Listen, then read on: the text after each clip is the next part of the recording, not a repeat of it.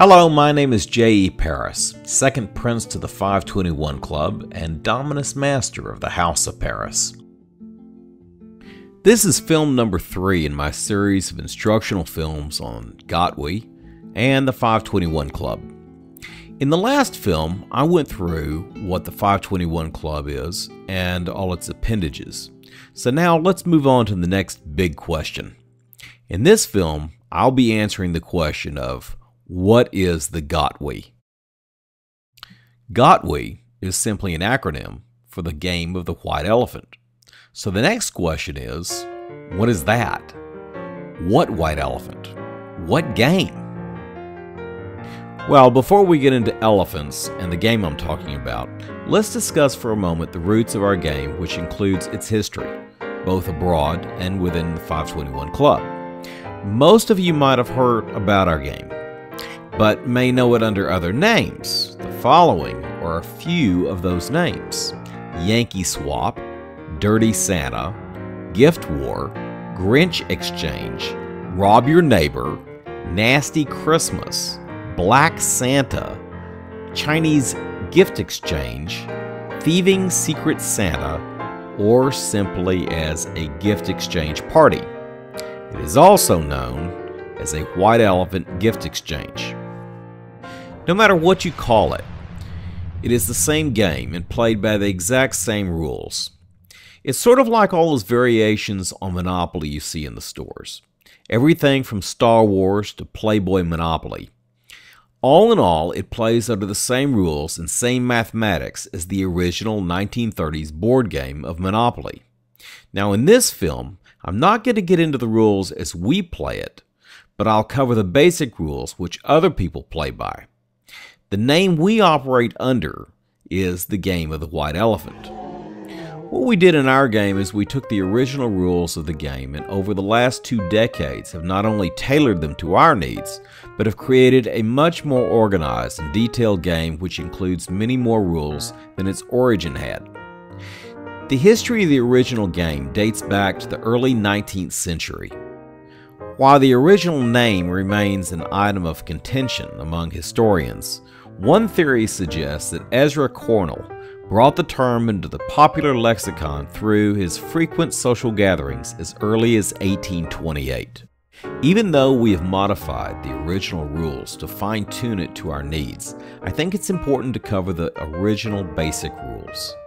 Understanding the basic rules will help you understand how we have changed them when I go over them in the next film.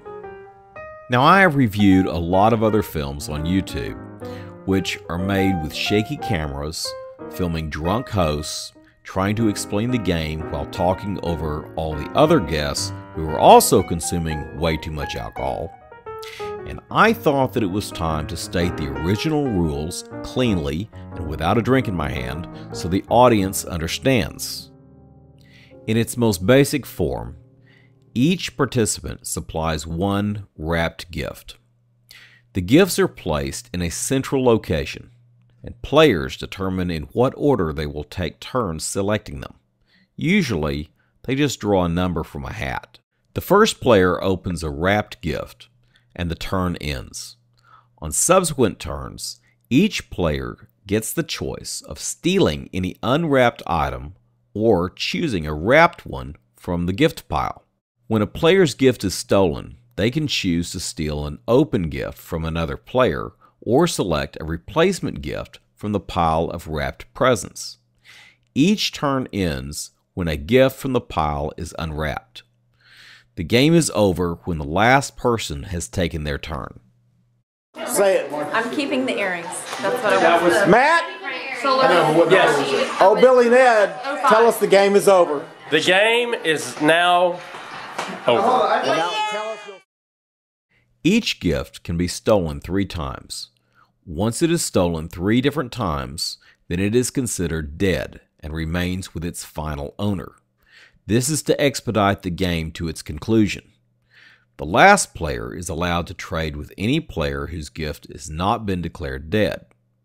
All in all, the rules are pretty simple, and the game is meant to be more of a mixer party game than anything to be taken too seriously. Most of the gifts at these games are either items, usually junk from the attic, or purchased items, which the cost is no more than $20. So, this explains the basic rules of the game. As I mentioned before, in the next film, we'll take these basic rules and expand them so as to explain how we play the game within the House of Parris. Now, allow me to briefly explain how we arrived with the name for our game. We extracted the whole gift exchange part out of it because it's an incorrect term to our game. We don't exchange gifts, we steal the gift outright, no matter how it hurts the victim. Of course, as we will cover in the coming films, we have upped the stakes to our game to the point that losing an item can be quite painful, which is our desired effect. One of the biggest problems we run into in trying to recruit people into our game is they identify with the rules which I just covered, since most people have only played by those rules. We have to go to a lot of trouble to explain that ours is not the silly office Chinese Christmas played throughout the nation. In our game, we went through many name changes as we modified the rules. When we began in 1995, we played the original way using the rules I just described to you. Originally, we operated under the name of Chinese Christmas. Then, in 1998, we realized that our family was bringing in more and more in laws by marriages, and so we officially changed the name to be Parris Chinese Christmas, so that those in laws would remember who was running the show. Then, in 2004, some of our more Marxist liberal members of the House of Parris protested that we were insulting the Chinese by calling it the Parris Chinese Christmas. As master of the House of Parris, I quickly put a stop to that politically correct baloney and made an addition to our official name for the event.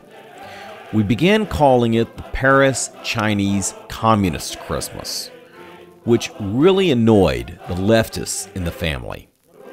This is where the famous PC3 logo came from. Then, in 2006, we decided that 521 White Elephant should be added to the name because we wanted to emphasize the 521 Club and began to use the White Elephant as a mascot during the game. In 2007, we banned liberals from our game under Order Number 3 as a sanction. We wanted to keep the logo of PC3 but felt that since the radical left in this country had elected a known liberal Marxist to the White House, we decided that naming our game after communists was no longer a joke, as it had been in the 90s. So we altered the name to be 521 White Elephant Parris Consumption Capitalist Christmas. By 2011, the war within the House of Parris had been raging for four years between liberal communist Marxists and constitutional conservatives.